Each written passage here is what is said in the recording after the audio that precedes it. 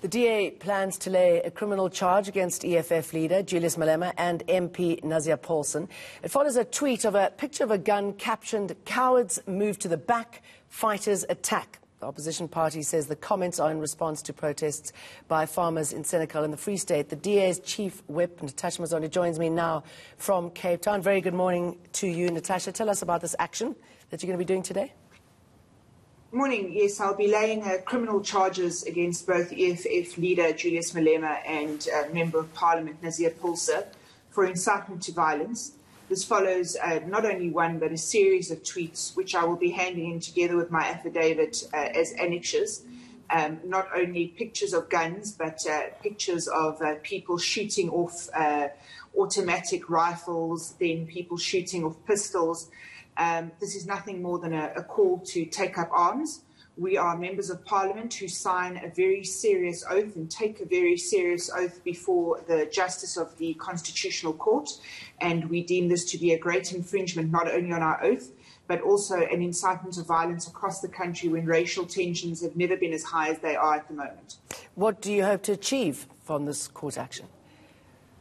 Well, up until now, Mr. Malema seemed to got away with the most outrageous racial rhetoric and the most outrageous rhetoric regarding death and war and destruction across the country.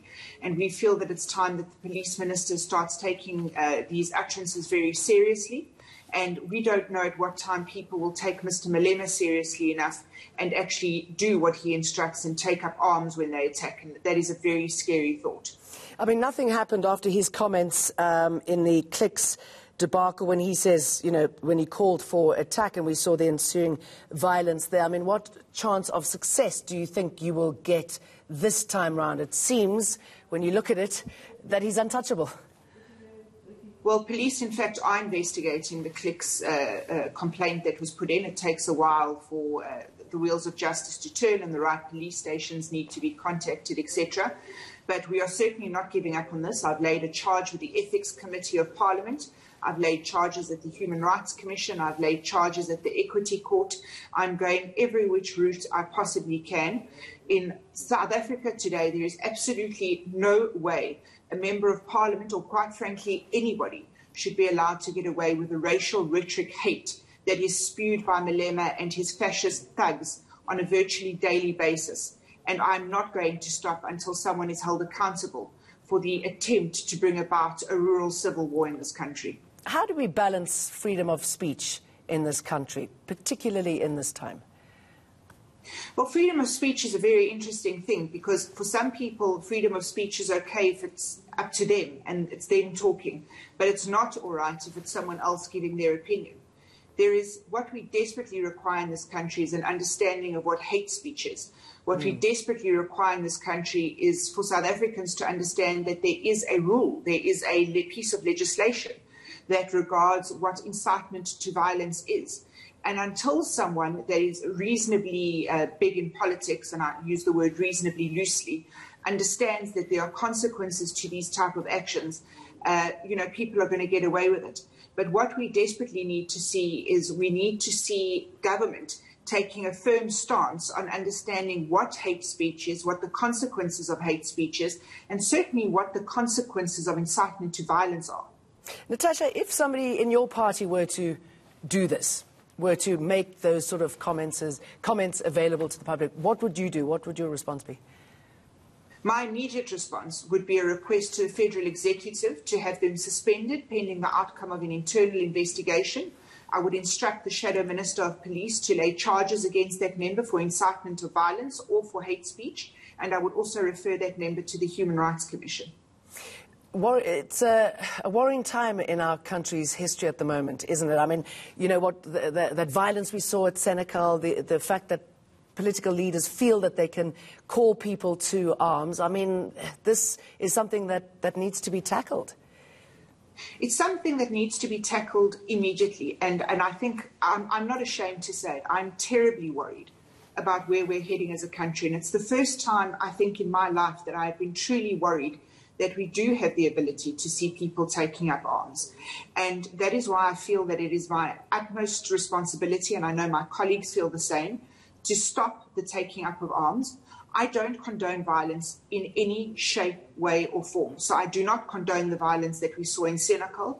I do not condone violence anywhere. I don't believe that violence is the answer. I think that violence begets violence.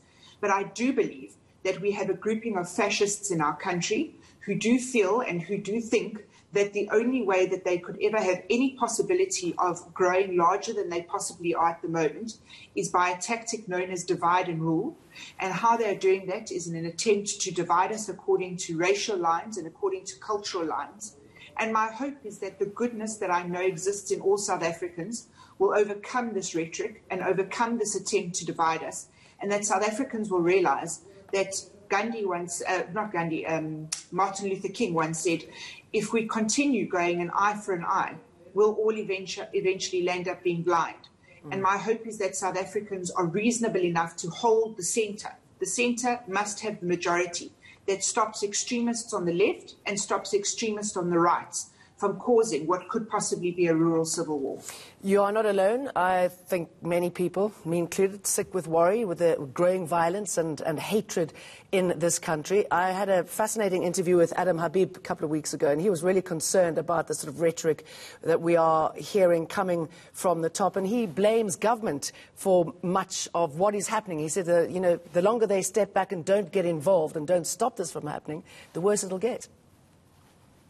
Jane, you know, that's, that's absolutely true. What you're seeing at the moment, it's a, it's a pressure valve cooker. That's what we're in at the moment.